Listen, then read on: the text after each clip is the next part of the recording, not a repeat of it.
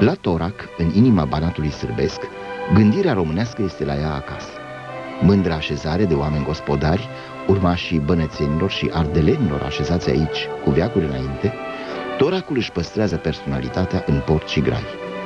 De aceea, a vorbi aici în fiecare ianuarie de Mihai Eminescu, de unirea principatelor române, este nu numai prilej de evocare, ci și de afirmare a bogatelor valențe ale sufletului.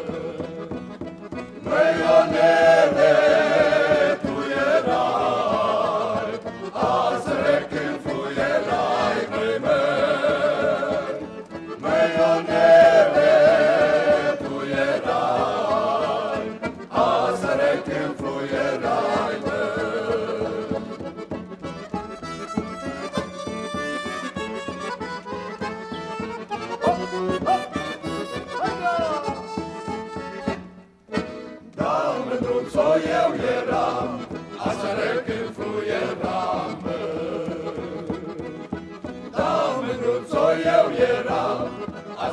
te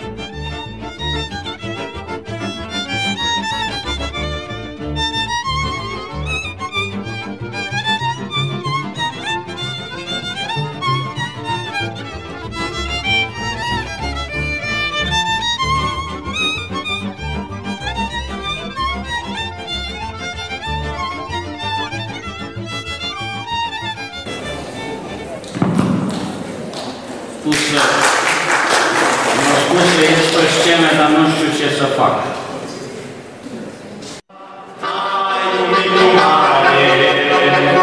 la manifestare și încă de mâine a fost așa mâine